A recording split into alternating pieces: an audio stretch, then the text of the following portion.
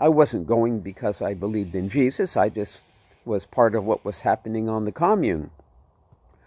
Well, anyway, as I was saying, Ann and I had broken up and we were leaving, I was leaving the commune for parts unknown. And I guess Jonathan had heard that I was leaving and he and Jeanette met me at the gate that morning. And as I was leaving, they pleaded with me. They said, Steve, will you receive Jesus to be your Savior before you go? Will you pray with us? We want to see you in heaven. We don't want to see you in hell. And I got a little upset. I said, you know, I said, I don't believe in Jesus, you guys. I said, I'm in the Eastern religion. And I said, Jesus was just a prophet, a teacher. He's dead now. And, you know, uh, they said, Steve, that's not true. He's alive. And, you know, uh, he said, I am the way, the truth, and the life. No man comes to the Father but by me. Well, I was pretty argumentative. I said, you know, I don't believe all of that. I said, I believe it's the same mountain. Doesn't matter what side of the mountain you come up, the Christian side, the Buddha side, the, the Hindu side, the Jesus side, same mountain, all leading to the same place. And no, they tried to convince me, but I, I wasn't hearing it. I get in, you know, I get the dog in, I get what's left of my backpack in the back seat there, and and uh, we take off, and I look over. He's a 50, 55 year old man, very straight, shirt and tie, short hair, clean shaven man. Looks like a businessman or something like that. And the guy is sobbing uncontrollably. I mean, just sobbing, you know. he's trying to drive and he's just sobbing. And I'm thinking, oh my God, another nutcase after this demonic dreadlock guy. This guy is as nuts as he is. And this guy's all over the freeway. He can't even drive. He's sobbing uncontrollably. And and I said to him, Sir, I said, listen, uh, I said, can I help you? I said, listen, you want to pull over? I'll buy you a cup of coffee and, you know, we can talk. I said, uh, whatever's going on. I said, you're not fit to drive. I'll be okay. Just give me a minute. I'll be okay. I said, sir, you're not okay. I said, please. I said, let's pull over. I'll be all right. Just give me a minute. Just give me a minute. I'll be all right. He's trying to drive, you know, and he's sobbing and and uh, I, I said, sir, please. I said, please, I, I, I don't feel safe. I said, you're not driving well. And, well, if you really want to know, I'm going to kill a man. And he reaches across the, the seat and he yanks this army blanket off the back seat with his hand. And in the back seat, he's got this army blanket, uh, a big thing of rope, a big butcher knife, and three concrete pier blocks like you put under a house foundation. They're about 25 pounds each got these three concrete pier blocks, and he tells me how he's going to kill this guy that night, wrap the body in the blanket with the pier blocks, the concrete, and with the rope, and he's going to throw the body off Puget Sound and sink the body that night. Oh my God, I'm in a car with a with a murderer, you know? My heart's pounding.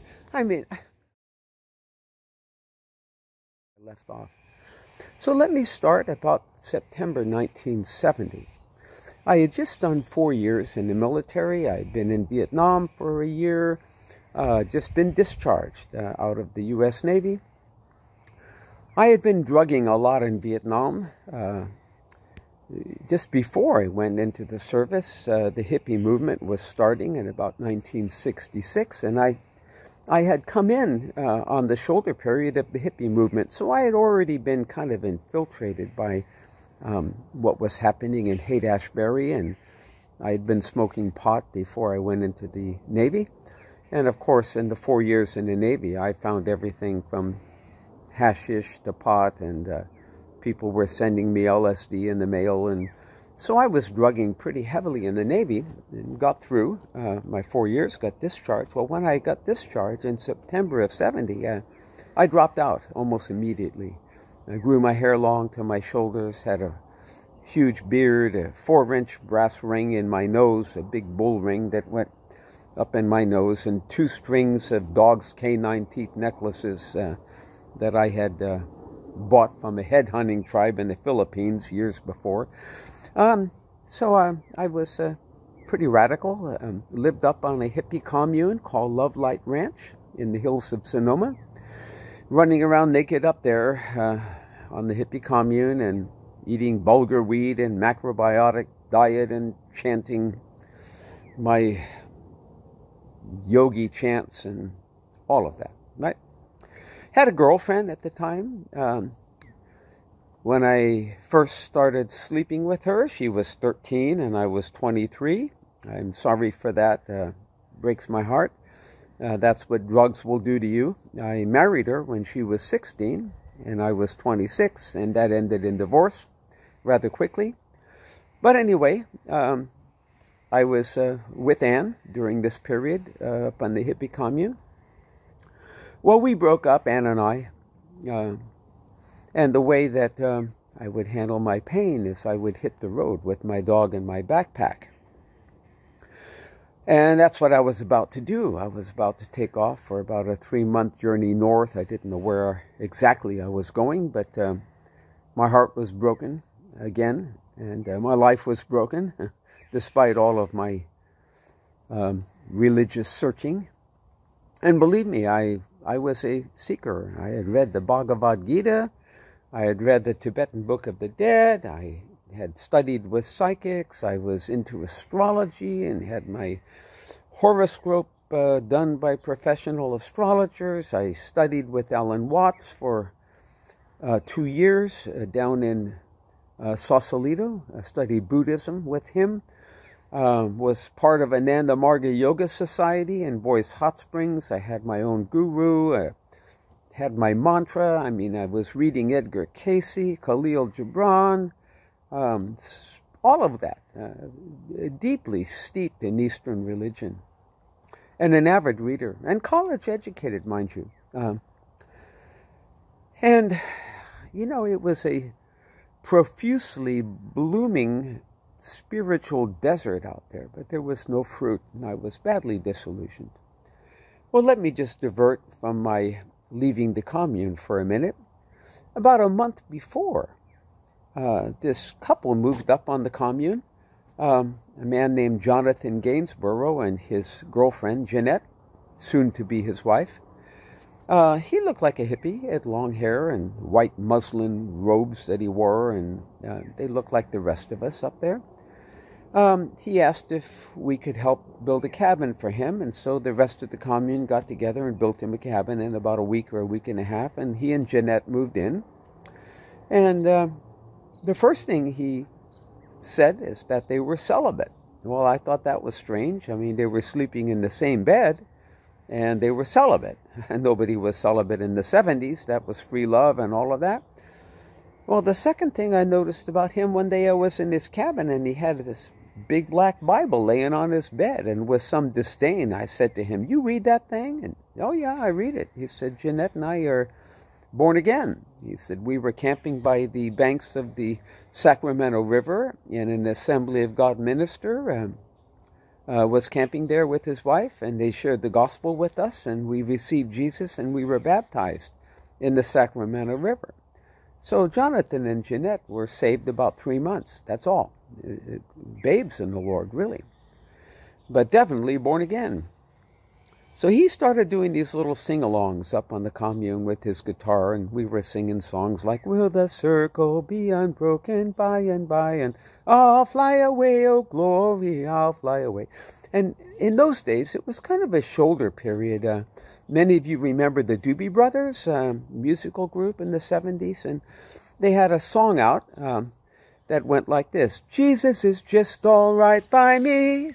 Jesus is just all right. And yeah, Jesus was all right, and Krishna was all right, and Buddha was all right, and so was Confucius, and you know, everybody was doing their own thing. Well, in these sing alongs uh, that Jonathan was leading, he'd share from the Bible, and he'd, you know, read a passage from the Bible. And in those days, there were hash pipes in the room, and Bibles, and people smoking joints, and reading their Bibles, and that was all all right. I mean, it was kind of that pre-Christian before the big revival that happened in the 70s. So I was getting smatterings of the gospel from these sing-alongs, and I wasn't going because I believed in Jesus. I just was part of what was happening on the commune. Well, anyway, as I was saying, Anne and I had broken up, and we were leaving. I was leaving the commune for parts unknown, and I guess Jonathan had heard that I was leaving, and he and Jeanette met me at the gate that morning. And as I was leaving, they pleaded with me. They said, Steve, will you receive Jesus to be your Savior before you go? Will you pray with us? We want to see you in heaven. We don't want to see you in hell. And I got a little upset. I said, you know, I said, I don't believe in Jesus, you guys. I said, I'm in the Eastern religion. Uh, I said, Jesus was just a prophet, a teacher. He's dead now. And, you know, uh, uh, they said, Steve, that's not true. He's alive. And, you know, uh, he said, I am the way, the truth, and the life. No man comes to the Father but by me. Well, I was pretty argumentative. I said, you know, I don't believe all of that. I said, I believe it's the same mountain. Doesn't matter what side of the mountain you come up, the Christian side, the Buddha side, the the Hindu side, the Jesus side, same mountain, all leading to the same place. And no, they tried to convince me, but I, I wasn't hearing it. And they said, well, okay, if you won't pray to receive Jesus, will you do this? Will you take this little Bible with you uh, on your trip and will you read it? And they gave me a little Gideon's Bible. And I said, you know, this is what I hate about you Christians. I said, you want to push your stuff on everybody and it's like your way or the highway and you think you got the only truth and I said, listen, I, I care for you both. I said, you've got good vibes. I was into vibes, you know. I said, I'll take it, but I'm not going to read it. I said, out of respect for you two, I'll take it. And they said, well, uh, listen, if you get up to Seattle, there's this Christian commune up there. Jeanette and I have been up there, and they're good brothers. And if you need a shower or a place to stay, uh, they'll put you up. I said, hey, I'm not going to go to no Christian commune. I said, this, uh, that's the last place I'm going to go, but so they wrote the address and they stuck it in that Bible and I put it in my shirt pocket. You know, one of those little green Gideon Bibles, you know, that they hand out on college campuses. And I didn't think anything of it. And I'm heading down the driveway and they said, hey, just one more thing. Uh, will you do this? If you won't pray to receive Jesus and you won't read the Bible, will you just do this? Will you pray to this Jesus you don't believe in? Just talk to him like you're talking to me. Tell him, Jesus, I don't believe you're alive. I don't believe you exist. But if you exist, and if you're alive, and if you show yourself to me beyond any shadow of a doubt, I'll give you my life. Will you do that? No, I wasn't going to do that either. I had an ounce of pot in my back pocket. I enjoyed sleeping with my girlfriend or anybody else I could for that matter. And I was superstitious enough to believe that if Jesus showed up, that uh, he might ask me to change a few things. And I wasn't willing to. That's the sin nature right there. want to be my own God. Well, I took off. I'm hitchhiking up the coast, and I end up uh, up in Crescent City, about two or three days up the road, and I'm in a campground in Crescent City, and Jonathan's words just haunted me. You know, he said, Will you pray to this Jesus? And if he's real, will you give him your life? You know, I had to ask myself a serious question. Uh, number one, are you a truth seeker? I thought I was a truth seeker. I was a voracious reader pursuing religion in all of its different forms. And, and I had to ask myself, honestly, if there is a truth that I didn't have, would I want it? Even if it cost me. What if Jesus was real? What if he was the way, the truth, and the life, and no man came but by him? So I wrestled with that that night in the campground. And I ended up calling Jonathan's bluff. I prayed to, to, to this Jesus. I said, Jesus, okay, listen. I said, I'm nobody's fool. I'm college educated. I'm smart. You know, you're going to have to really uh, show up beyond any shadow of a doubt. But if you do, and if you will convince me of your reality, I'll give you my life. Oh my God, don't ever pray that prayer unless you mean it. From that moment, it was like the hounds of heaven were after me. Every car that picked me up, it seemed, was a Christian. They would preach to me, you know, and they'd get me in the car. Are you saved, brother? Do you know Jesus? And, you know, I'd pull out my little uh, Gideon's Bible, you know, my club card. See, yeah, I'm in the club. See here? I mean, I look like Charlie Manson or the creature from the Black Lagoon with this ring in my nose and this beard and long hair. It was obvious I was no Christian, but uh, they had all preached to me, and they were so kind to me. And some of them, some would give me a twenty dollar bill, some would take me out to a meal, others would offer to let me stay at their home, and some of them I did. Um, but I was so paranoid because almost every car seemed was Christian, and it got so bad, and I got so tired of being preached to that if I looked in the car and it was the Virgin Mary on the dashboard or a cross hanging from the mirror or a Bible in the car, I'd wave them on. I got so tired of everybody preaching at me, and I, I was paranoid almost. I mean, I'd search the car before I got in, make sure they weren't Christian. Well, anyway, make a long story short, so I get up to Eastern Oregon, and uh, many of you know that's desert out there in Eastern Oregon, and it was very hot. It was like July and 103 degrees, right?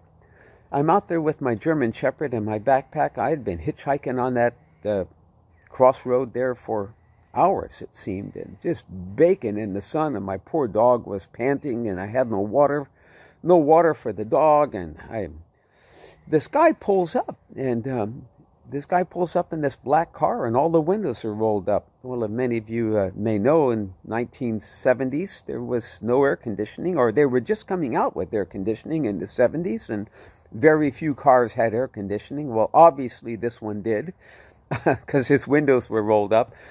And uh, I opened the door to get in and to thank him for the ride. And the first thing I noticed was this big black Bible on the seat. And I said, Oh my God, do I want to do this again? Do I want to do this again? And I was so hot and the poor dog was dying that I got in and uh, he uh, took off with me. And turned out he was an Assembly of God minister. And I rode with him for almost two hours across the Oregon desert. And he preached the whole gospel, all of it. Uh, just, of course, asking me if I was saved. And of course, I tried to convince him I was, and he knew I wasn't, and preached the whole gospel to me. Ah, gosh, horrible. Let me out um, somewhere by um, uh, Seattle, uh, below Seattle, somewhere below Seattle. And I had been at this on ramp um, where he let me out for uh, a very long time, and it was getting dark. And uh, it was an inner city area just south of Seattle, and a lot of black people with wine bottles in brown paper bags. And yeah, I just felt uncomfortable. I mean, uh, I just felt uncomfortable there. It was a kind of a ghetto area and probably a high crime area, and it was starting to get dark. And and uh, my option was to sleep at that on ramp. And God, I didn't want to be there. And I prayed my second prayer. I said, Lord, if you're real, uh, if you would just give me a ride, one on ramp, I would be thankful. And this kid pulls up in this old station wagon, right? Old 56 Ford station wagon. And, uh, he's got dreadlocks, right? This guy with dreadlocks, and nobody had dreadlocks in the 70s. I mean, that was the first guy I ever saw with uh, dreadlocks, and I was radical, but this guy was more radical than me. And I looked in his eyes, and right away I could see he was demonic or mentally ill.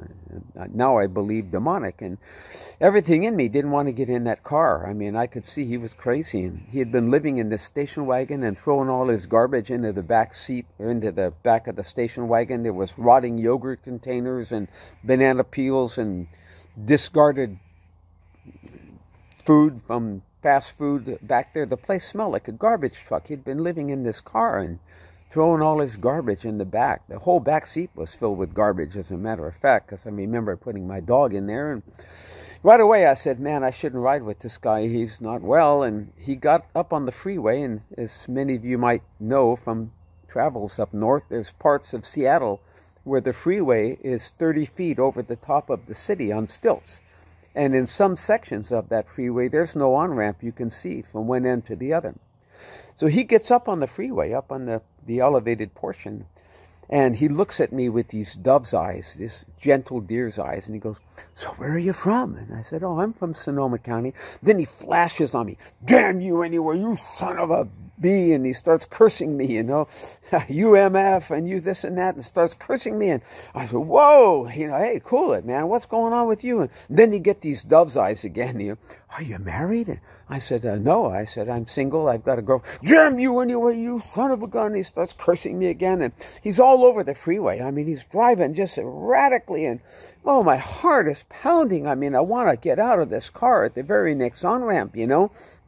And this went on for about 10 minutes, him flashing back and forth between this gentle soul and this demonic, cursing, you know, vicious personality. And all of a sudden he slams on the brakes right on the freeway. Get out, get out, get out of this effing car. And he's kicking me with his foot and get out, get the hell out of here. And, and now he stopped right in the slow lane. There's no bike lane, there's no pull off, there's nothing. He is in the slow lane right by the concrete railing of a three lane freeway, and he kicks me out of the car and he peels out and leaves me in a cloud of burnt rubber. I'm stuck on a one foot curb. It's, it's not even a foot, eight inch curb with my dog and my backpack and cars flying by at 50 miles an hour. And I'm trying to get my dog up on the curb so he won't get hit. and my backpack fell over, and all my pots and pans went out into the slow lane, and cars are running over my pots and pans, and I'm trying to get my pots and pans or whatever I can get out of the slow lane, and my dog is out in the second lane, and the cars are swerving around him, blowing the horn, and oh God, I'm just in this horrible position, and I managed to get the dog, and I drag him back to the railing, and I took off my belt, and I tied the dog to the railing with my belt, and trying to gather what things I could, and this guy sees me and he slams on the brakes and he skids to a halt. I mean, cars are going around him at 50 miles an hour, blaring the horn. He stopped in the slow lane on the freeway and I get in, you know, I get the dog in, I get what's left of my backpack in the back seat there and and uh, we take off and I look over, he's a 50, 55 year old man, very straight, shirt and tie, short hair, clean shaven man, looks like a businessman or something like that. And the guy is sobbing uncontrollably. I mean, just sobbing, you know. he's trying to drive and he's just sobbing. And I'm thinking, oh my God, another nutcase after this demonic dreadlock guy. This guy is as nuts as he is. And this guy's all over the freeway. He can't even drive. He's sobbing uncontrollably. And and I said to him, Sir, I said, listen, uh, I said, can I help you? I said, listen, you want to pull over? I'll buy you a cup of coffee and, you know, we can talk. I said, uh, whatever's going on. I said, you're not fit to drive. I'll be okay. Just give me a minute. I'll be okay. I said, sir, you're not okay. I said, please. I said, let's pull over. I'll be all right. Just give me a minute. Just give me a minute. I'll be all right. He's trying to drive, you know, and he's sobbing and, and uh, I, I said, sir, please. I said, please, I, I, I don't feel safe. I said, you're not driving well. And, well, if you really want to know, I'm going to kill a man. And he reaches across the, the seat and he yanks this army blanket off the back seat with his hand. And in the back seat, he's got this army blanket, uh, a big thing of rope, a big butcher knife, and three concrete pier blocks like you put under a house foundation. They're about 25 pounds each got these three concrete pier blocks, and he tells me how he's going to kill this guy that night, wrap the body in the blanket with the pier blocks, the concrete, and with the rope, and he's going to throw the body off Puget Sound and sink the body that night. Oh my God! I'm in a car with a with a murderer. You know, my heart's pounding. I mean, I'm at this point, I guess uh, 26, 25 years old, maybe. Uh, I, guess uh, a couple years going on since I've gotten out of the service, just to give you a time reference here. My uh, girlfriend and I had broken up several times, you know, about 25, I think. Uh, you know, looking back, my memory uh, fades with some of this, time frames and all of that. So, anyway, um, he's driving erratically, and I'm speechless. I am speechless. I'm in the car with the murderer. I didn't know what to say. I reached in my pocket and I pulled out that little Gideon Bible that I'd never read. I had never looked at it even. I pulled it out and I just popped it open. I just looked at it. I just popped it open. And my eyes fell to a verse in Matthew or one of the Gospels. And I said to him, I said, Sir, I said, Jesus said, Peace I give to you, not as the world gives, give I to you. You think there's peace for somebody like me? I'm going to kill a man. I shut the Bible, you know, and my heart's just pounding. I don't know what to say, you know. I, I open the Bible again. I fall on a different verse. And I said, Sir, I said, Jesus says here in the Gospels, he says, um, Whoever comes to me, I will in no wise cast out. You think there's room for somebody like me in heaven? I'm going to murder a man. And I shut the Bible again, and he's driving erratically all over the freeway. And I mean, the Holy Spirit is working through me for this man, and I'm not even saved. I don't even know Jesus, but God loved this guy. And as I'm reading the scriptures to him, he starts to get control. And he agrees to pull off. And in those days, they had Sambo's restaurants, and we pulled off into a Sambo's off the freeway on ramp, and he begins to pour his heart out to me. He's the father of a young man who shared my name. His son's name was Stephen. His son was 26. I was about 25. Um, his son was a hippie like me. That's why he picked me up. Um, his son was doing 10 years in the Washington State Penitentiary for sale of narcotics. Well, apparently his son had been living out on Victoria Island with a Filipino woman who was one of the largest heroin dealers in the Seattle area. The narcotics agents had been staking out the house for quite some time, and they did a bust on the house when she happened to be out, and they caught his son with a loaded revolver, 10,000 of cash, which in 1970 was a lot of money, or 72, I guess, 73. So a lot of money, 10,000, and all these kilos of heroin. So they had put everything on his son.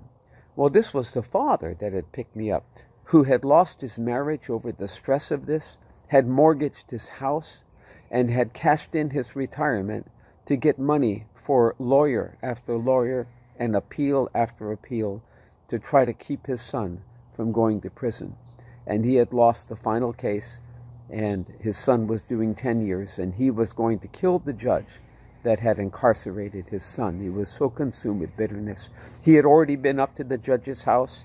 He knew where the bedroom was. He was going to climb up the the toilet drain pipe on the outside of the house, uh, slip in the second story window at night and kill him in his sleep, and lower the body down with the rope and take it out to Puget Sound. Well, as I'm in Sambo's and ministering to him, me who is not born again, I'm ministering to him, Guess what falls out of that Bible? That slip of paper that I had totally forgotten about that Jonathan had put in there about this commune up on Queen Anne Hill. And I said to him, for lack of better words, I was no Christian. I didn't even know what a Christian was, but I said to him, I said, I'm a baby Christian. I don't know anything about the Bible, but I said, if you'll come with me to this place, I know these people can help you. And this poor broken man came with me. I couldn't believe it. And it's about 6:30 p.m. now, 7 p.m. Twilight. It's getting twilight. We drive up the Queen Anne Hill. We find the place. Five Victorian homes, three on one side of the street, two on the other, all freshly painted in this ghetto area.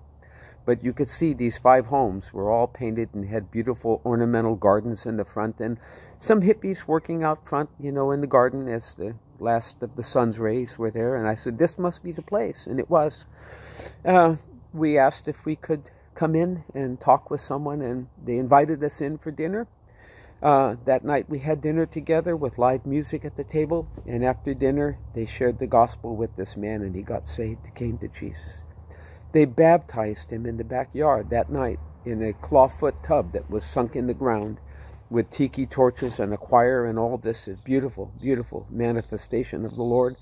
He came to Jesus, gave his son into the hands of God, and turned around and went home a healed man uh, with peace all over his life. I had never seen a life transformed. That first life I had seen transformed by the Lord. I stayed in the commune for two weeks. Do you think I would receive Jesus? Absolutely not. They preached to me every day. Every day they preached to me from the Word of God. I was a good guy. I mean, I baked bread for them. I washed floors. I cleaned toilets. They loved me. They wanted me to stay. They said, You're one of us. I said, I'm not one of yours. I'm not one of you. I don't believe that Jesus is the only way. I just couldn't believe it. I left there. They cried when I left there. So now I'm uh, just north of Seattle somewhere, and I'm hitchhiking, and this guy picks me up, and he says, Where are you going? I said, Oh, wherever you're going. I have no destination. And he said, Well, you may not want to go where I'm going. He said, I own a ranch up on a one lane mountain road, and I'm going up to my ranch. And I said, Well, I got nowhere to be, nowhere to go, so let's go. Fine with me. Well, I'm thinking, right, he's going to put me up at his house because a lot of people did, especially if it was late in the evening. And it was getting late, you know, in the evening. It was about uh, 7 p.m. when he picked me up. Uh, you know, had long, long summer daylight in, in the July. But yeah, he picked me up and we're talking and we get on this one lane mountain road, two or three miles up this mountain road. And I'm hoping he's going to ask me to stay for the night gets to his uh, driveway and he goes, Well, here's where you get out. He said, This is where I live. I'll see you later. I said, Oh, C R A P, excuse my language. I was in the middle of nowhere and this guy is kicking me out and he's not asking me to stay. And I'm in the middle of nowhere now. And worse even yet, it's starting to drizzle and it looks like rain. So I get out of his car and I'm thinking, oh my God, what am I going to do? It's going to rain, you know. And so I remember this railroad trestle back about a mile, uh, half a mile before his gate. There was this railroad bridge, and I'm thinking I could find shelter under there, maybe a dry place to camp for the night. So I'm walking back uh, down the road, you know, to the railroad trestle, and there's all these papers all over the side of the road. They're all fluorescent colors fluorescent pink, fluorescent orange, fluorescent green, fluorescent yellow, all these 8 by 10 papers. And I'm thinking, man, you better get some of these papers before they get wet because uh, if you want to have a fire tonight, you better grab as many of these as you can. And there was, you know, 50, 100 of them all blown all over the road. Maybe they came off a truck, they blew off a truck or whatever. I don't know. But I gathered this big armload of all these papers. I don't know how many I picked up, you know, 50 of them, something like that. So I get down to the railroad trestle, and sure enough, here's a campsite with a fire ring, and it's dry under there. And so uh, me and the dog and the backpack, you know, we get set up and I start crumpling up these papers to make a fire. And guess what? They're all Bible tracts, different varieties. There must have been 10 or 20 different Bible tracts, all printed on Day-Glo paper, right? So I'm sitting there all night with my flashlight reading Bible tracts, right? And looking up scriptures in my little Bible that I had that I'm all of a sudden uh, a little interested in. You know, I had seen enough that made me think that maybe this Jesus was real, you know. I mean, it took a lot. I was a hard nut to crack, you know. I just wasn't going to come down easy. So the next morning, I, I hiked back up the hill, uh, past his driveway, down the other side of the mountain, and I got down to this little uh, one pump gas station general store and I have to use the bathroom. So I'm sitting in the stall uh, in the bathroom and I look over to my left and on the wall of the bathroom somebody had written John 3.16 For God so loved the world that he gave his only begotten son that whosoever believeth on him should not perish but have everlasting life. And I'm going, my God, this has got to be, is this coincidence? All these Christians that pick me up on their Bible tracts, the, the murderer. I mean, I mean, I had asked Jesus if he was real to show himself to me, right? I, you know, starting to, pieces are falling together here, right? Whether I like it or not. So anyway, I take off again. Now I'm up to uh, uh, Vancouver, uh, Canada. And I'm looking for a place to sleep. And there's a big park up there called Stanley Park. So um, uh, I'm looking for some trees that I can camp in in Stanley Park, big park like Golden Gate Park, San Francisco, great big park up there in Vancouver. And I heard this music uh, coming over the hill, so I kind of go over this hill, uh, and here's this amphitheater with about 500 people. It's about 4:30, 5 o'clock in the afternoon, and there's a stage down there, and obviously there's some sort of a concert going on, and so I sit down with my dog and I'm listening to this concert. Well, it was a Christian concert, and different people are getting up to the microphone playing Christian songs on their guitar and telling how Jesus healed their marriage and how Jesus delivered them from drugs, and people giving testimony and playing Christian music. And wow, I mean, I, God had my attention big time by now, and I'm listening, you know.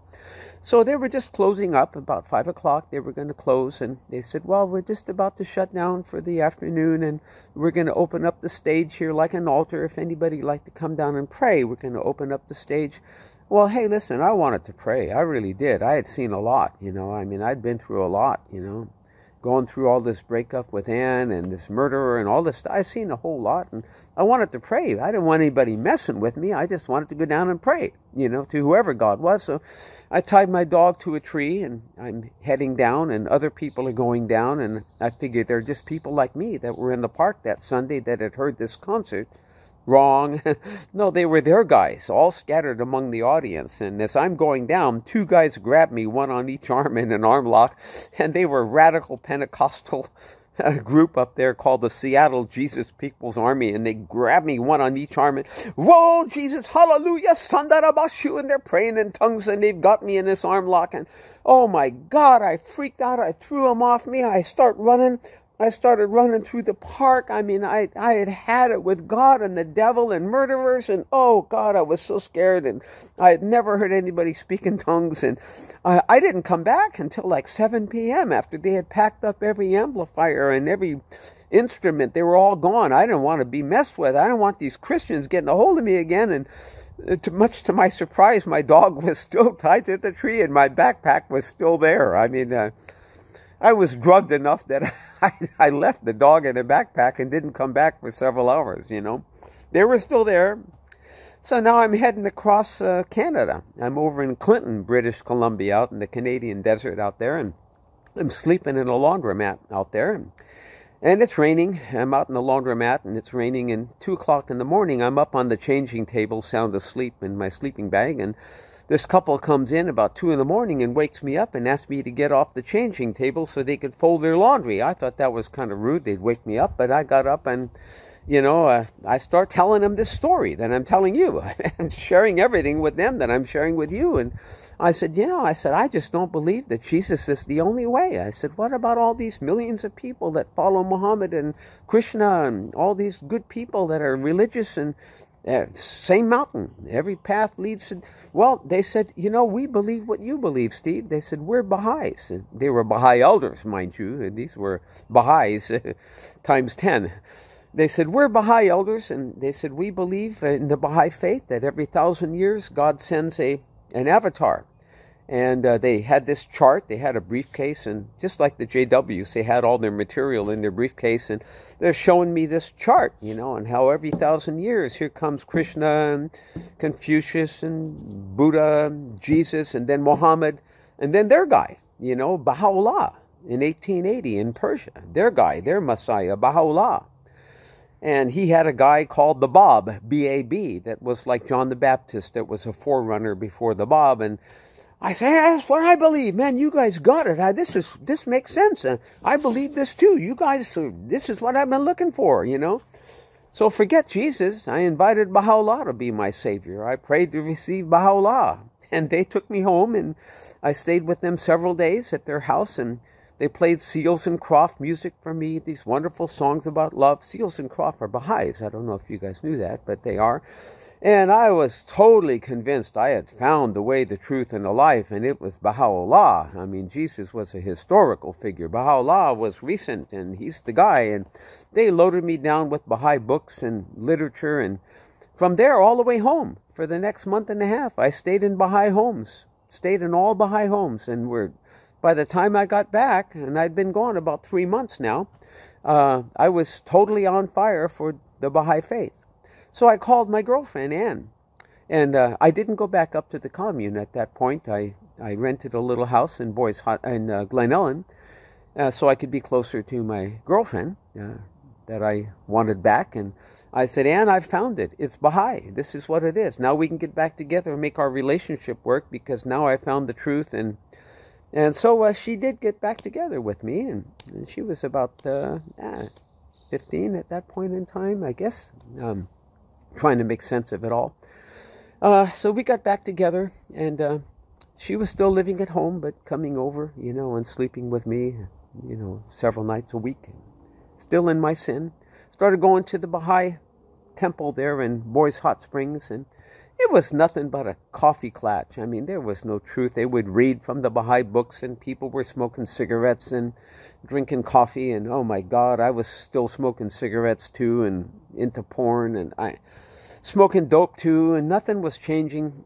And Anne and I broke up again. Oh my God, Anne and I broke up again.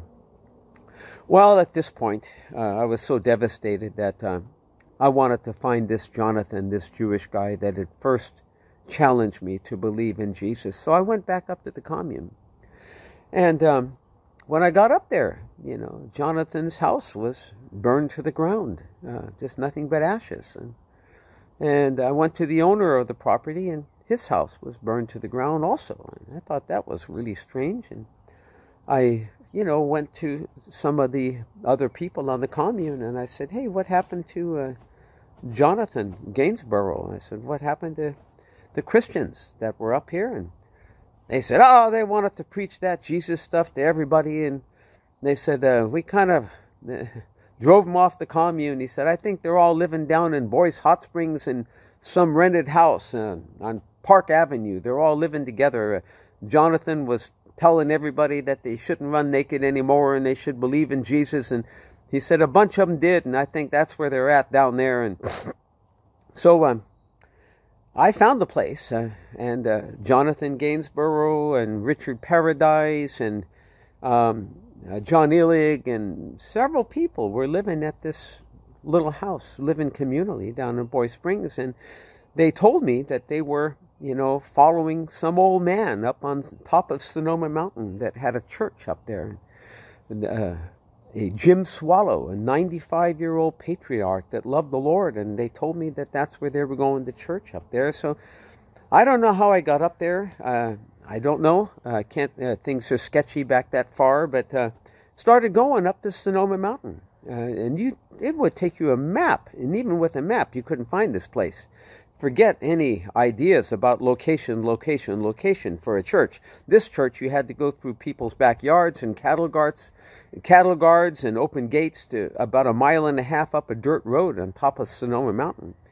So I started going up there, and now, mind you, I'd been gone, you know, several months. Well, by the time I got up there, there was a thriving hippie church, you know, 50 people, maybe more, I don't know. Uh, uh, following this old man. And he looked like Moses, and he had this long white beard and these blue eyes, and 95 year old saint patriarch that just loved Jesus. And he was preaching in this old metal building up there with theater seats, old uh, wooden theater seats for that was the church, this old tin building, corrugated steel. And after church, they'd have potlucks, and there'd be banjos and fiddles and bluegrass music and potluck lunches and uh, all these hippies up there, a hippie church following this old man. And boy, it was a beautiful organic scene, you know, just uh, semi communal. Some people were living up there in different trailers and houses. And ah, I liked what was happening. I still wasn't interested in Jesus, mind you. I still did not believe Jesus was the only way. No, no, no, no, no. I did not believe that. But I was into the vibes. There was good vibes up there and all this music. I started going, well, Every week, Jim Swallow would come after me. He'd see me and he'd come across the lawn after church and he'd say, Steve, what's taking you so long? He said, You've heard of Jesus. I, you've heard the gospel. Why? I said, Jim, I love you guys, but I said, I'm not into this Jesus stuff. And I said, please don't pressure me. I won't come up anymore if you do that. Well, week two, he'd come after me. Same thing. What's taking you so long, Steve? Week three. Week four he's coming after me again. Well, by week five, I'm getting mad. I mean, I'm really mad. And here he comes across the lawn after me again. I know the whole routine. He's going to pressure me and do this thing. And I'm backing up and I'm throwing up my hands and I'm saying, Jim, if you do this, I'm not going to come up anymore. And I'm backing up. He's advancing and I'm backing up. And unbeknownst to me, there was a redwood tree behind me. And I, I backed into the redwood tree. And that's what stopped my retreat from him he fell on me, just fell on me. He threw his arms around me and he started weeping over me. I mean, just sobbing, weeping. And nobody had ever wept over me, not my mother, not my father. And nobody had ever cared for my soul enough to weep over me. And he starts to pray that Jesus would open my eyes. And he's crying and he's hugging me like a man grab a, a, a buoy in the middle of the ocean. He wouldn't let go. And and he's praying that Jesus would open my eyes. And all I can tell you, saints, at that point, the Holy Spirit hit me so hard that all of a sudden he was transformed and it wasn't him. It was Jesus that had me. Jesus, arms were around me and I started screaming at the top of my lungs, I know it's you! I know it's you! And I'm bursting into tears and I know it's you! I wasn't talking to him. I was talking to the one that was holding me and that was Jesus. I mean, it was as real as this table. Jesus was the one, not him. It was mystical. It was magical. It was amazing. Jesus had me and like a slideshow he showed me my life, how he had answered that prayer, how the, the, tracks I found, the murderer, the people that fed me. I just started sobbing, forgive me, forgive me, forgive me, forgive me, Jesus, forgive me. And I know it's you, I know it's you. And then it was like a backpack fell off when I said, forgive me. This backpack that I'd been carrying for 26 years of sin and guilt. I mean, I had committed adultery with people's wives. I had stolen money from my parents. I had, I had done every sin imaginable that you could think of, from fornication to, I mean, I, I, when that backpack of sin fell off, I felt like I was had had an internal bath. I mean, I was born again. I knew it. I knew it. I knew it. They took me up and baptized me. Jim Swallow was I, I think I was the last baptism he did.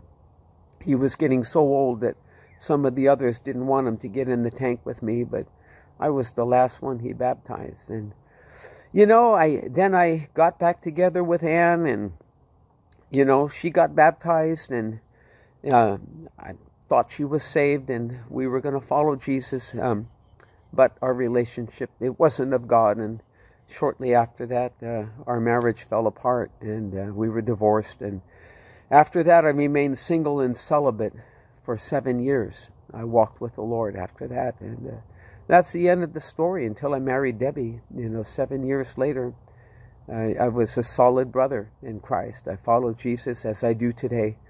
And uh, Debbie was the one God had ordained for me. Uh, you know, Anne was my own pick. it wasn't the Lord. She was 16 when we married and a very, uh, you know, tortured soul, you know, had grown up without a real father or mother. And, you know, years later I found out she had married several times more and had some children and, you know, her life had not turned out well. And uh, I was able to meet with her actually and, and ask her forgiveness for, you know, my own improprieties as a man of God with her. But uh, anyway, that's my story, and I just wanted you to have it. Uh, Jesus is real. He'll do the same for you that he did for me. Just don't be so hard. Don't don't be like I was. The, God says in the Bible, do not be like a like a bull or an ox that I have to put a ring in your nose and lead you in order to get you to follow me. He said, uh, just let me put my eye upon you. So uh, that's my prayer for you today, whoever you are that's hearing this. He's good, He's gentle, He's kind. Give your heart to Him. It's a wonderful life. I've had a wonderful life. Wonderful life. Yeah, as I said, I'm going into this major surgery. I may live, I may die. Doesn't matter. I've had a wonderful life and I know my Savior. God bless you. Bye bye.